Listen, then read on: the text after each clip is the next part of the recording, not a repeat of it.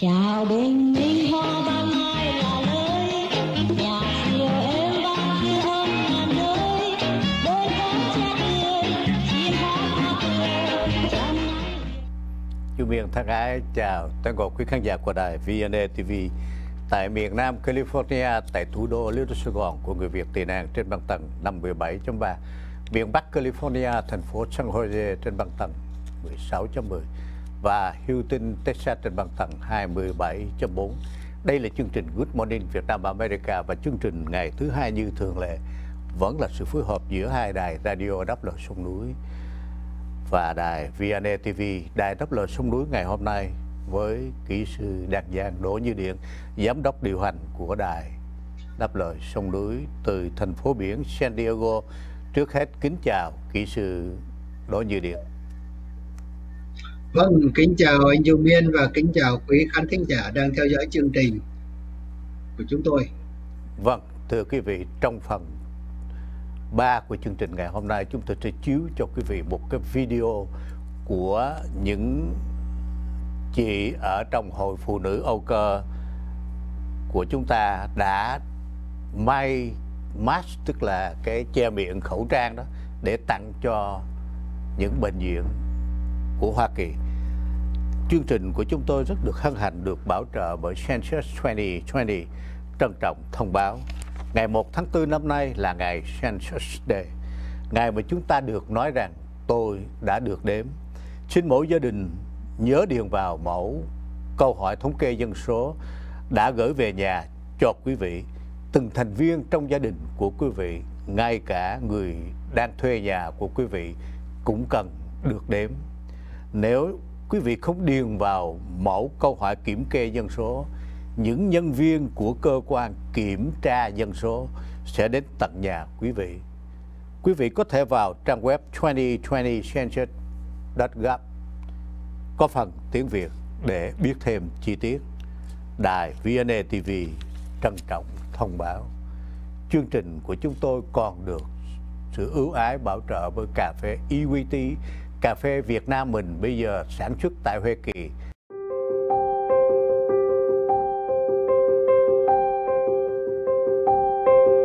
hạnh phúc thực sự được tìm thấy trong những điều đơn giản nhất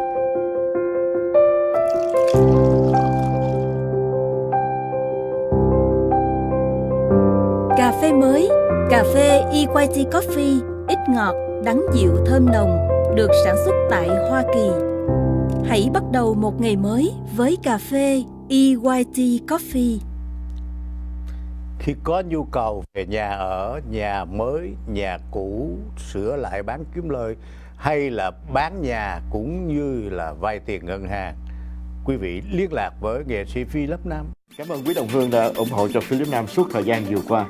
Nếu quý đồng hương có những nhu cầu mua bán hay tài trợ, tái tài trợ địa ốc xin gọi cho Philip Nam ở số điện thoại 909 576 1934 Là người Việt Nam, chúng ta cùng tẩy chay Product of China. Đó là lời kêu gọi quen thuộc của Tao Tiger Club nằm trên đường đi lô sau lưng bưu điện Bosa. Một khi tẩy chay Product of China rồi, chúng ta còn có Product of California của công ty thực phẩm Tây Hồ, chợ Sài Gòn, City Marketplace và của No Gạo Pandarai cũng như lập trưởng Mai Quế Lộ có bán tại chợ Sài Gòn City Marketplace trên đường Phuket góc cho Mark Faden. Cảm ơn quý cơ sở thương mại đã bảo trợ cho chương trình này và đài VND TV của chúng ta. Kính thưa quý khán giả, chương trình của chúng tôi và đài Táp Luật Sông Núi ngày hôm nay có những tin tức rất là nóng liên quan đến dịch bệnh đại dịch Covid-19 cũng như tình hình ở Hồng Kông, ở Biển Đông và Việt Nam. Đầu tiên hết thì Leo lấy dùm cho hình số 2 để Khi suy Đỗ Như Điện sẽ trình bày về một đề tài để bình luận sau 45 năm cưỡng chiếm miền Nam, Cộng sản đã tàn phá đất nước chúng ta như thế nào kính mời anh Đỗ Như Điện là giám đốc điều hành của đài phát thanh đáp lời sông núi phát về Việt Nam. Đây là tiếng nói chính thức của lực lượng cứu nguy tổ quốc của những anh em đã âm thầm chiến đấu suốt 45 năm qua ở khắp nơi trên thế giới. Kính mời anh như Biên và tôi Quy cân từ hôm uh, thứ năm vừa rồi, tức là ngày 30 tháng 4 năm 2020 đánh dấu 45 năm Cộng sản miền Bắc đã cưỡng chiếm uh, miền Nam Việt Nam Cộng hòa bằng vũ lực do Nga Xô và Tổ cộng uh, cung cấp. Thì từ đó đến nay 45 năm qua người Việt chúng ta đặt câu hỏi là sau 45 năm cộng sản đã làm gì cho đất nước? Và nhìn lại thì chúng ta hãy nhìn đến toàn bộ lịch sử của Việt Nam. Cộng sản Việt Nam đã bóp méo đã sửa đổi lịch sử uh, qua rất nhiều giai đoạn và đặc, đặc biệt lịch sử cận đại thì Việt Nam đã làm cho giới trẻ tức là những người từ 40 50 tuổi trở xuống hiểu sai về lịch sử đấu tranh của Việt Nam và hiểu sai về cuộc chiến nội chiến do chính cộng sản gây ra. Ờ, và cho đến nay sau 45 năm thì đất nước Việt Nam chúng ta là một trong những quốc gia nghèo đói và tụt hậu. Mặc dầu uh, nhìn thấy xây dựng những đá thì người dân tưởng rằng đó là một sự tiến bộ. Nhưng thật ra nếu đi sâu vào chúng ta sẽ thấy đó là một sự phá hoại không thể tưởng tượng được. Bởi vì nó đã làm băng hoại toàn bộ cái nền văn hóa của Việt Nam cái nền văn minh của Việt Nam đã được xây dựng từ bao nhiêu đời thì trong 45 năm qua, người cộng sản đã tiếp, đã phá hoại. Và cái phá hoại quan trọng nữa là đưa đất nước đến cái nguy cơ sẽ rơi vào cái nền thống trị của Trung Cộng, tức là Tàu Cộng.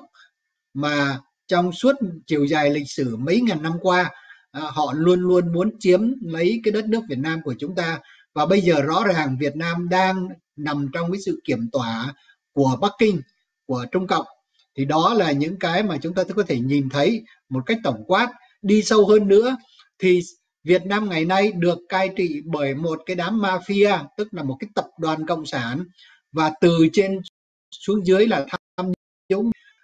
Chính đảng cộng sản là ổ tham nhũng, là cái nguyên cớ để tạo ra tham nhũng từ trên xuống dưới, từ thượng tầng cho tới hạ tầng từ một anh cán bộ phường lên tới xã ấp huyện đều là những người mà đã chiếm đoạt tài sản của người dân. Sau năm 1975 thì gần một triệu người dân Sài Gòn đã bị đuổi ra khỏi thành phố và nhà cửa của họ đã bị chiếm đóng, đã bị cướp đoạt. Và sau đó thì biết bao nhiêu những thảm cảnh trong ba cái đợt gọi là X1, X2, X3 mà cộng sản đã áp đặt cho dân miền Nam để san bằng cái sự giàu có của miền Nam làm sao bằng với miền Bắc ờ, đói khổ. Và từ đó đến nay đã không gượng lên được. Cho đến bây giờ chúng ta thấy là các nước đầu tư vào Việt Nam chỉ là mượn cái giá nhân công rẻ của Việt Nam để đưa vào và làm ra những sản phẩm trong khi không có tiến bộ về giáo dục, về văn hóa, về xã hội, về y tế, Việt Nam đã rơi vào một cái tình trạng hết sức là là khó khăn là nghèo đói. Đi sâu hơn về vấn đề kinh tế thì chúng tôi sẽ nói rõ hơn. Đây là nhìn chung 45 năm Đảng Cộng sản Việt Nam đã làm cho đất nước của chúng ta tụt hậu, nghèo đói và cái cái tình trạng uh, uh, tiến bộ không thể nào mà, mà gượng lên được và có thể trong nay mai uh, kinh tế Việt Nam sẽ sụp đổ. Chúng tôi sẽ trình bày thêm nếu mà uh, còn thì giờ. Giờ thưa anh Du Miên.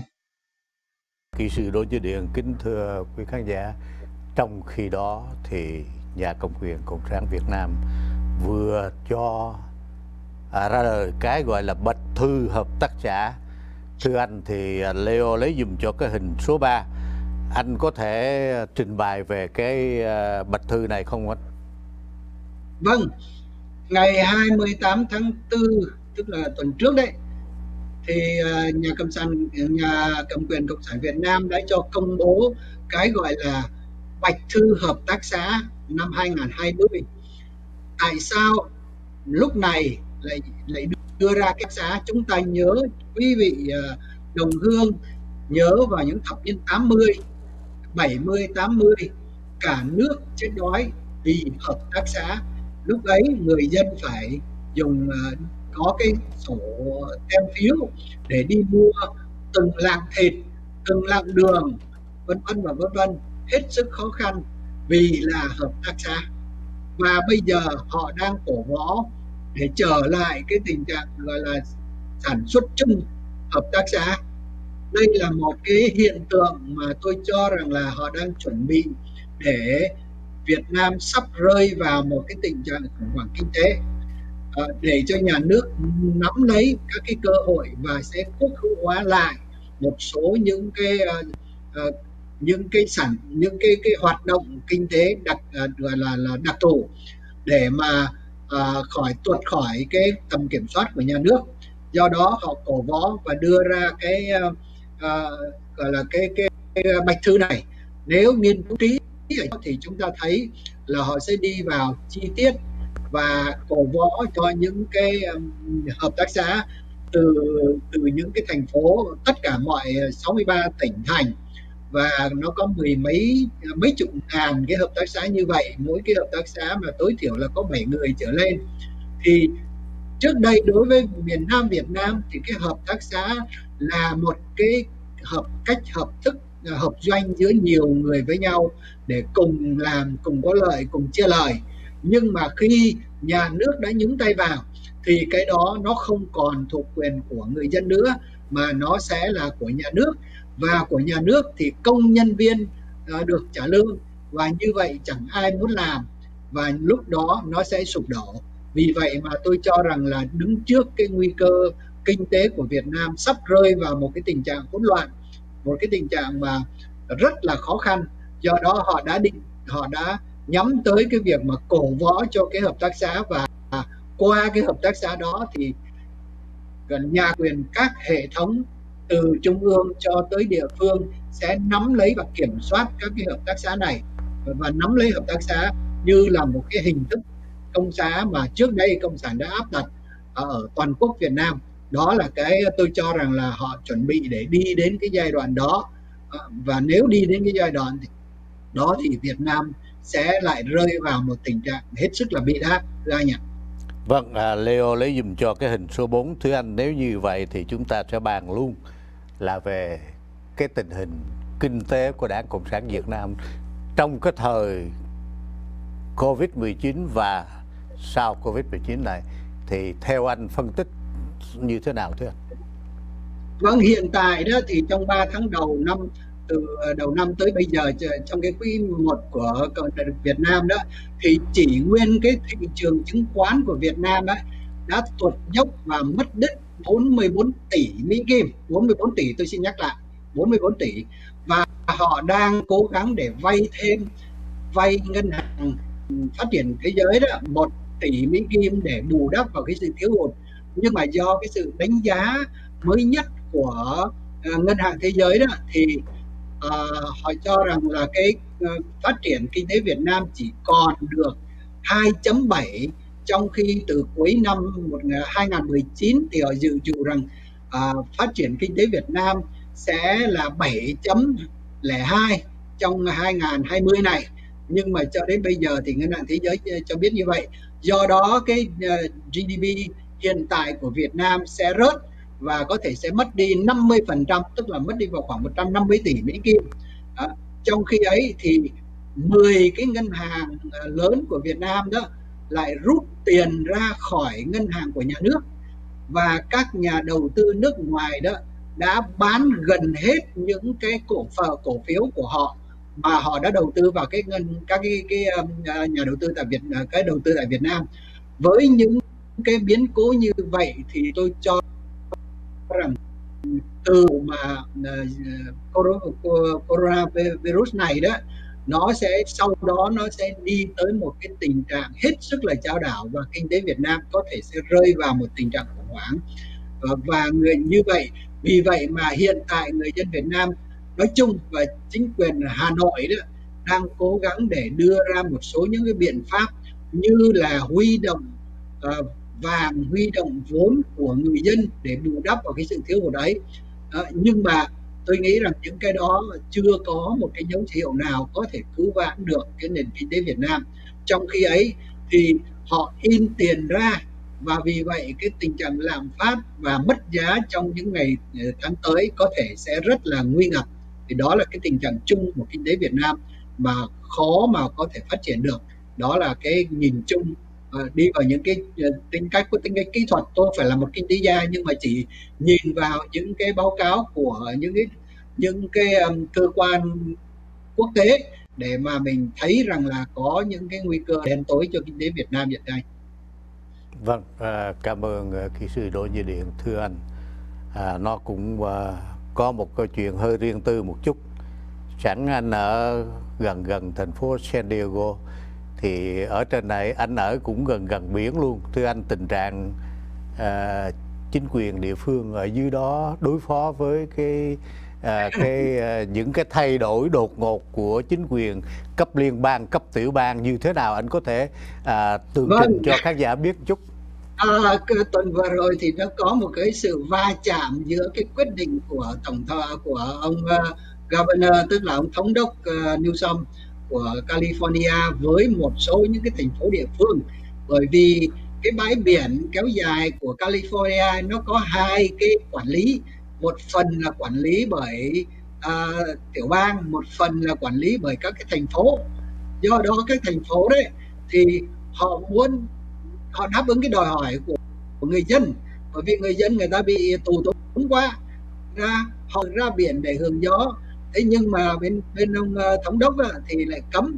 Do đó mà nó có cái sự va chạm. Vì vậy nó đã xảy ra khá nhiều những cuộc biểu tình. Và vì vậy nhiều người họ đã bất kể cái chuyện mà cấm của ông thống đốc họ cứ nhào ra biển. Và vì vậy giữa uh, địa phương giữa county giữa city và uh, tiểu bang đang có cái căng thẳng thì mặc dù ông thống đốc có trấn an rằng là chúng tôi sẽ cố gắng này kia nhưng mà cho đến ngày hôm nay đó thì là có một số bãi biển được ờ, người dân được phép ra để mà chạy bộ để mà à, sinh hoạt nhưng mà không được tụ tập nhưng mà đối với ờ, thống đốc thì chưa có không đồng ý cái chuyện đó do đó nó vẫn còn có một vài cái va chạm và Vâng.